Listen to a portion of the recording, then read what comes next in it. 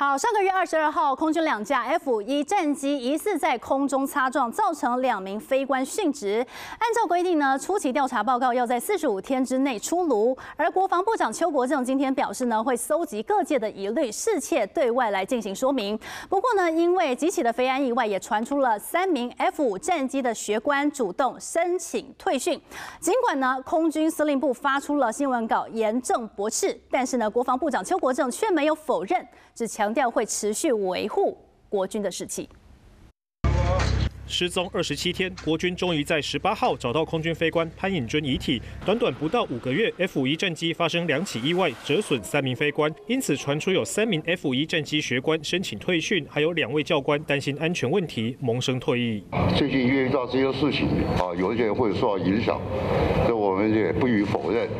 但我们持续的来强化啊宣教跟士气维护，不要因为这件事情啊而改变多数人一个心态。F 五战机退训潮，国防部长没否认，空军却在十八号发新闻稿驳斥，说背离事实。如今也传出两架 F 一在三月二十二号疑似空中擦撞事故的初期调查报告，预计将在五月六号出炉。我们是按照这个趋势来走，但有一个报告以后，以往的经历却并没有一定要对外告知。到时候我们会收整各界对我有哪边有问题的啊，有疑义的，我会针对这个报告内容啊。事先跟大家做个说明。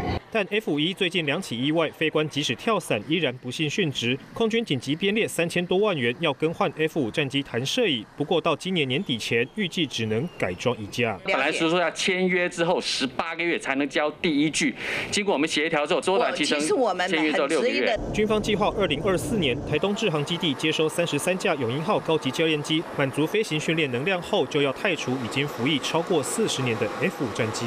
华视新闻，吉光城市学特别报道。